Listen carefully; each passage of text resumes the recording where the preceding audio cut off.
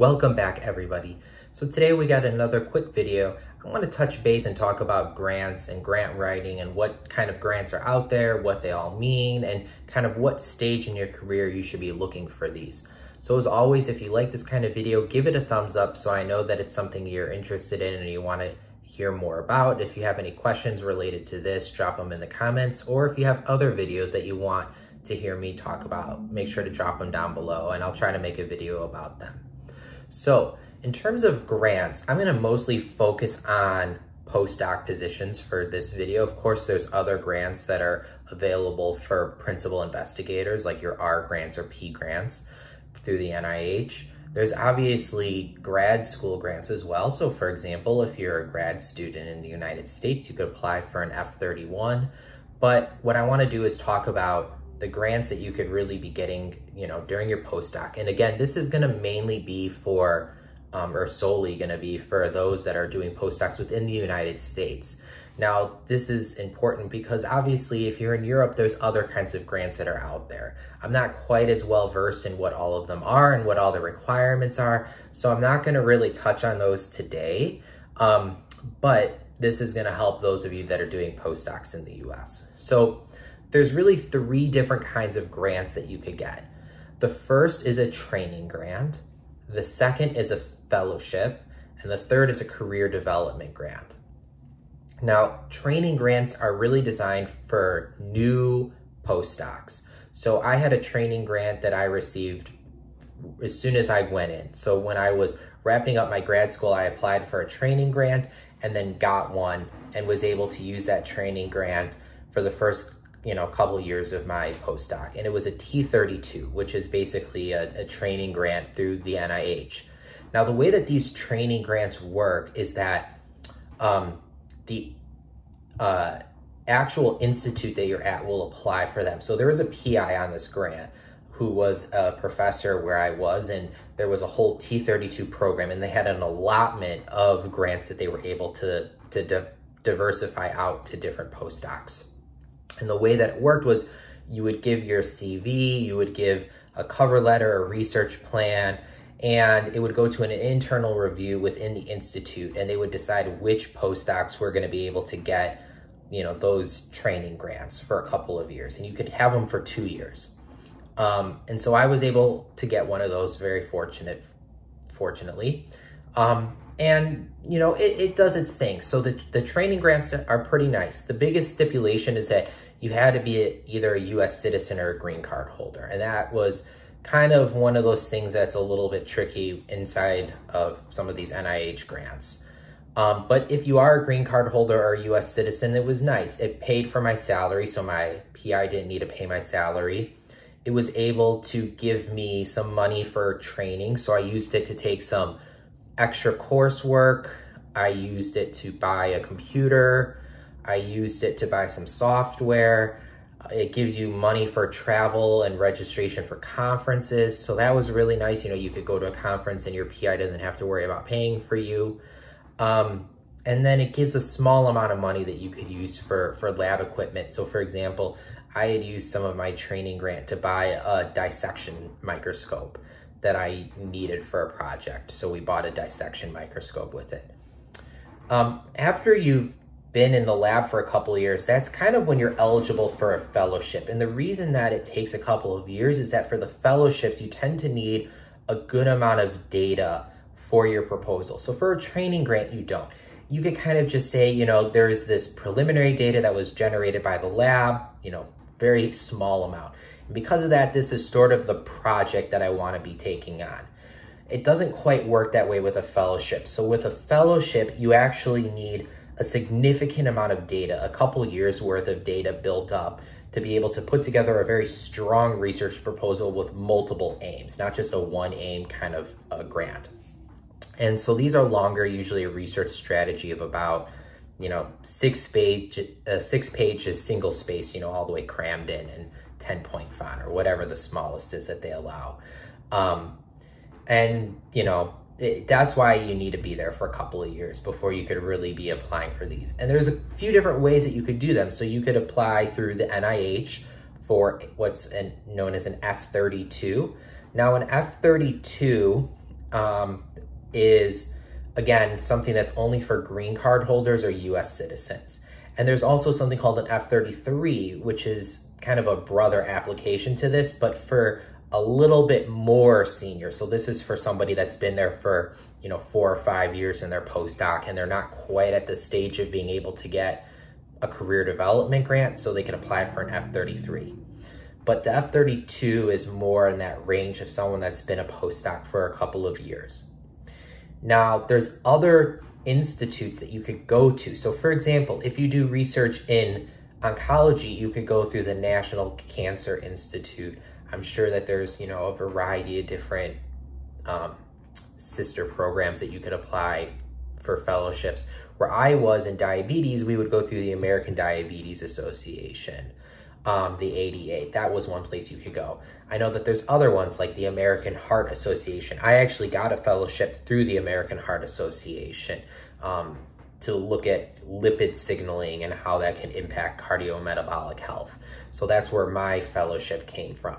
And again, these fellowships are very similar to the training grants. They're going to pay for your salary, they're going to pay for some equipment, for some lab, um, lab equipment. You know, you can buy computers with them. They'll pay for conferences. They kind of have the same purpose, but they obviously have a little bit more prestige than a training grant. And the reason for that is that unlike a training grant, which is distributed throughout your institute, these are ones that you actually have to go out on your own and earn. Um, and when they score these, they score them on a variety of things. So I want to say when I did my American Heart Association fellowship, and I had also applied for a, an NIH one as well, they looked at your proposal, they looked at your personal statement, your career goals, they looked at the institute, they looked at the training plan that you put together. So you can't just say, well, I'm going to do this research. You have to talk about what's your training plan going to be? Are you going to be taking courses? Are you going to be attending conferences? You know, how are you building yourself to the next step? Um, you know, they look at all of this when they come and they decide what it is that they want to fund or not fund. And, you know, of course, the most important part is that research proposal.